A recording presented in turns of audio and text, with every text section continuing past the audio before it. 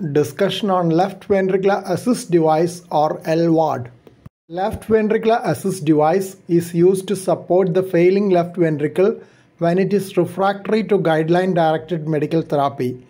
It can be either a bridge to cardiac transplantation or a destination therapy. In general, cardiac transplantation offers better long-term survival compared to LVAD according to data available from devices except the most recent.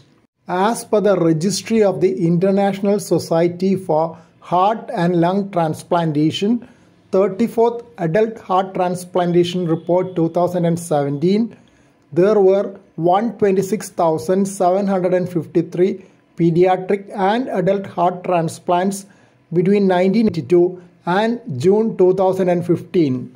Median survival after heart transplantation was 10.7 years in adults and 16.1 years in pediatric recipients.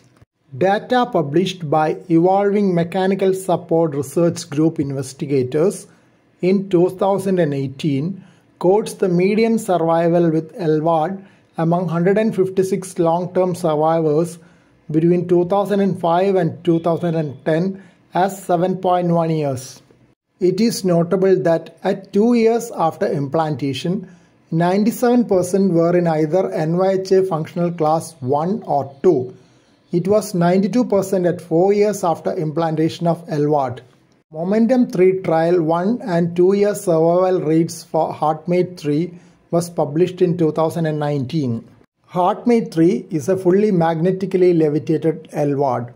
Fully magnetically levitated centrifugal flow LVAD recipients are less likely to have pump thrombosis or non-disabling stroke than those treated with a mechanical bearing axial flow LVAD at 2-year follow-up.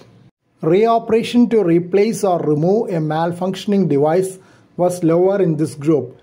Let us hope that the long-term results of maglev devices will also be good.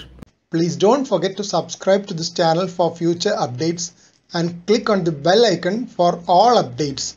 Thank you.